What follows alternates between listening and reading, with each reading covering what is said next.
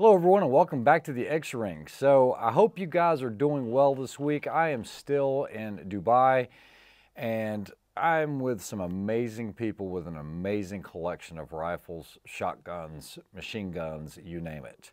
Uh, things that I never thought I would see in my entire lifetime. It's just been crazy. And these guys are huge into 22. They have a huge collection of precision 22s, everything from MPAs to, I mean, you name it, they have it. And so I was, uh, I'm actually out at the range today, today being Tuesday, and we basically just shoot all day. Everything from indoor ranges to outdoor ranges. We've got to shoot in the ocean, uh, shooting out to one kilometer, shooting balloons that are out in the ocean where they're, you've got the wind, they're moving, they're moving up and down, and it's just been an unbelievable experience. And I'll try to get you some videos of that as well. But one of the rifles that I've been really impressed with and I've been shooting on shoots and everything else while I've been here, but this is a Sako quad range. I've never heard of this rifle. I know what a Sako is, but I've never heard of the quad or the range. It actually has four interchangeable barrels, so you can get the 22 Magnum, 22 HMR, uh, 22 long rifle, and the other one might be one of the Mach series, I'm not sure.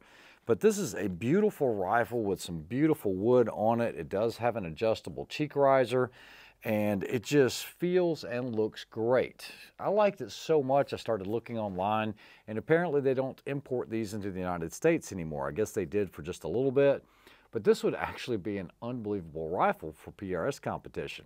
I think you would still need to add like an Arca Swiss rail, but they do have the cutouts here for the slots.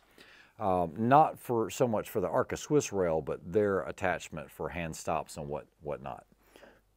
It also has attachments on the left-hand side. So this one's outfitted with just a, a, carbon fiber bipod, and it does have an Arken EP5. So what I have seen is a lot of these guys buy the Arken scopes, and they do shoot really well. Now, what I've noticed is because we do have indoor 50 and 100 meter ranges, these are private ranges, these aren't, these aren't open to the public. I'm able to attain some groups that I've never seen before back home because it isn't a controlled environment. It's kind of like getting your rifle tuned over at Capstone where you're able to shoot everything from Eley 10X to Eley Match to Lapua Midas and Center-X. So I just wanted to review this, this rifle and bring it to you guys. Uh, it does have a 10-shot magazine. And so it's not the end of the world that you could still shoot a match. You just have to do a magazine change because it is 10 shots. Uh, I'm sure you could make something that would actually work with an extension or something like that. But I did want to show you some close-ups of the rifle. It is a short, what feels like a 60 degree throw. The bolt itself actually has this trapezoidal feel, but it actually, it actually works really, really well. And so I'm going to go ahead and shoot it at 50 yards and I'll shoot it at 100 yards. We'll show you the results down range. And while I'll be able to show you the targets, I'm not going to be able to set a camera downrange because I don't have the I don't have a spare camera to be able to set up down there. But I do have um, basically live video that I can move the camera up so that you can see it. You just don't won't see me shooting while I'm shooting that target. So just, here we go, the Sako range. Let's go ahead and shoot it for group. Just gonna use some Eley Match. Uh, we've got some X-Act and everything else. Uh, just really don't have time to be sorting through different lots and, and whatnot. So what I'm going to do is uh, we'll see if it'll hold a decently tight group at 50 and then we'll check it at 100. Now these are at meters, not at yards. And so let's see here, we'll do a 50 yards. So we'll shoot for groups. Like I said, I don't know, I don't know if it'll be dead on, but we'll shoot for group and I'll just aim for the center. Uh, we will aim for target one, top left corner, 50 meters.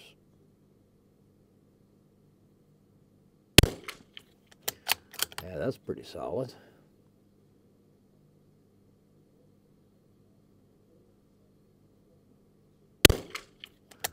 Same hole.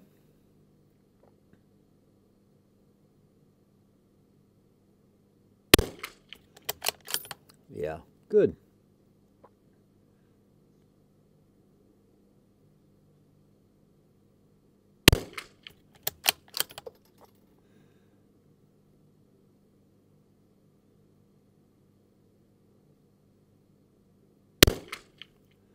All right, so that's a pretty respectable group at 50 meters. So what we'll do is we'll shoot it at 100. I think that's going to be somewhere around, like I said, these are, uh, this is an MOA scope. So let me get the camera downrange. Like I said, it's a solid performer at 50. I want to see how it does at 100, and it'll be 100 meters, so 104 yards. Let me go ahead and set up the camera. All right, so I just grabbed the camera, and that is the 50 meter, all the way at the glass there. All right, so we're gonna use the same Eley Match ammo. I've got five shots. I've got the camera down range at 104 yards. We'll see how it does. Like I said, I haven't done any lot testing or anything, but I'll tell you what, I'm very, very impressed with this rifle so far. And if it can hold, you know, that minute standard we always look for, I think that would be great. that's not gonna work. That one didn't feed properly. We're not gonna use that one. Let me go ahead and just grab another round just to be safe. All right, there it goes. So we will go for target number two. All right, here we go.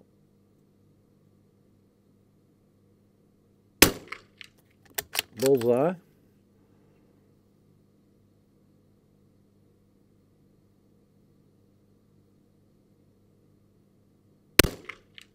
Bullseye.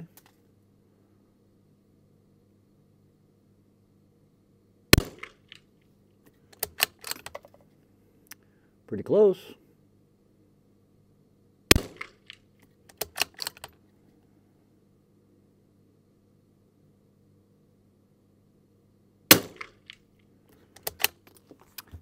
Guys, check that out. That is a 100 meter grouping. And I will tell you, since I've been here all week, these guys really know precision rimfires. If you think this rifle's accurate, I had a chance to shoot what he said was his most accurate rifle of all times. And it was a $900 Lithgow Arms. Now you can't get it in the United States. And I wish I would have had the target, but I literally shot one hole.